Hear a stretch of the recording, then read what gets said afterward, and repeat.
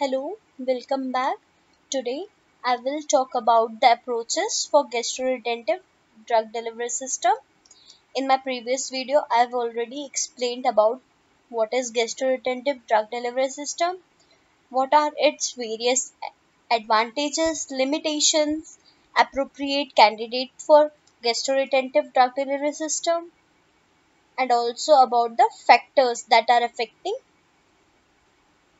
gastroretentive drug delivery system. So today we will talk about the different approaches. So there are different different approaches. For example, high density system, low density system, bioadhesive system, swelling system, super porous hydrogels, expandable system, ion exchange resin system, raft forming system. So all these are the approaches of gastroretentive drug delivery system which I will be explaining in detail in the further slides. So gastroretentive drug delivery system is divided on the basis of density in two types floating system and non-floating system. Obviously the floating will be those drugs or formulations which are having low density system and non-floating one will be high density system. In case of floating systems, there are several formulations, several systems, for example, effervescent and non-effervescent system.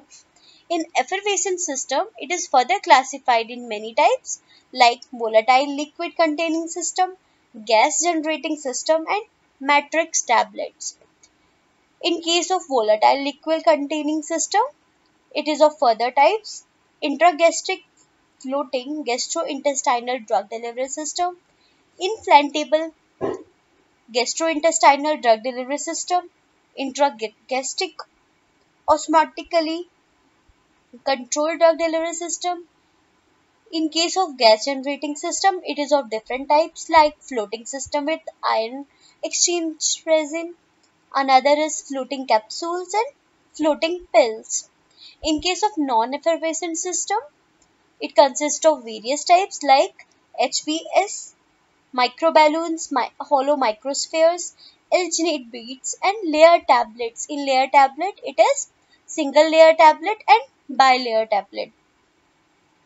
Now talking about non-floating system, that is high density system.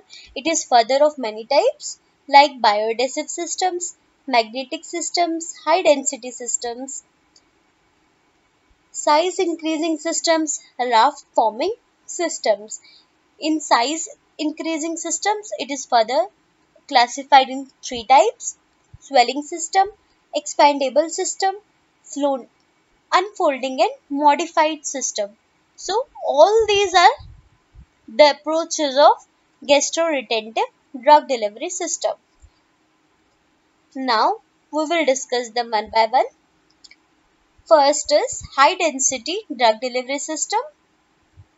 So in this approach, the formulations are prepared by coating drug on a heavy core or mixed with inert substances such as iron powder, barium sulfate, zinc oxide. Why we are doing so? Why we are coating it? To make the dense, to increase the density so this material increases the density up to 1.5 to 2.4 grams per centimeter cube. So depending upon the density, the gastrointestinal transit time of pellets can be extended from an average of 5.8 hours to 25 hours. So we can increase the gastric time up to this much extent. But effectiveness of this system in human beings was not observed and no formulation has been marketed up to now. So in market there are available gastroretentive drug delivery systems are available but only in case of low density floating formulations are available.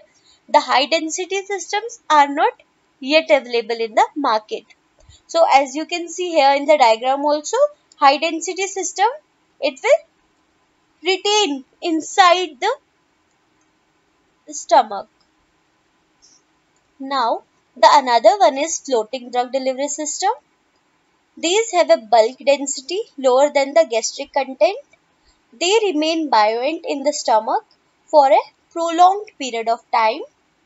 With the potential of continuous release of drug, they include HBS, gas generating systems, volatile liquid, vacuum containing system, raft forming systems and low density system. So all these comes under floating drug delivery. Now gas generating system, what is happening in gas generating system? You can see here in the diagram. The, there is the formulation and the water will get penetrate and there is the release of carbon dioxide and finally the drug diffuses. So carbonates or bicarbonate which, which react with gastric acid or other acid for example citric or tartric present in the formulation to produce carbon dioxide are usually incorporated in the dosage form thus reducing the density of the system and making it float on the media. So what we are doing here? We are just incorporating some acids like citric acid, tartaric acid and it will produce carbon dioxide and with this production the density of the system will reduce and it will comes on the floating system. Now the another one is matrix tablets. Now single layer matrix tablet is prepared by incorporating bicarbonates in matrix forming hydrocolloid gelling agent like HPMC, chitosan, alginate or other polymers and drugs. In the matrix tablet, bilayer and triple layer tablet is also prepared. In case of bilayer tablet, one layer is incorporated with gas generating matrix and another layer is incorporated with the drug with sustained release effect. In case of triple layer tablet, the first swellable floating layer with bi bicarbonates, second one with, will be with the sustained release of the drug and third one will be the dissolving layer of bismuth salt. See here, you can see here in the diagram also, it is triple layer matrix tablet. The first layer is gas generating layer, another one is drug controlling layer and the third one is rapid dissolving layer. Now, the another approach is inflatable gastrointestinal delivery. In this system is incorporated with an inflatable chamber which contains liquid ether that gasifies at body temperature to cause the chamber to inflate in the stomach. See here, you can see here in the diagram also, it contains an inflatable chamber which is inside the capsule and there is the presence of a drug reservoir also. Inflatable chamber is located with a drug reservoir which can be a drug impregnated polymeric and then encapsulated in a gelatin capsule. Now, the another approach is intragastric osm osmotically controlled drug delivery system. Comprises of both an osmotic pressure controlled drug delivery device and as well as inflatable floating support in a biodegradable capsule. So, this contains two approaches. One is it is containing osmotic pressure controlled device also and also the inflatable floating support system.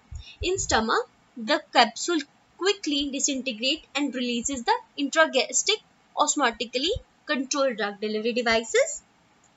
Inflatable support forms a deforming hollow polymeric bag containing liquid that gasifies at body temperature to inflate the bag.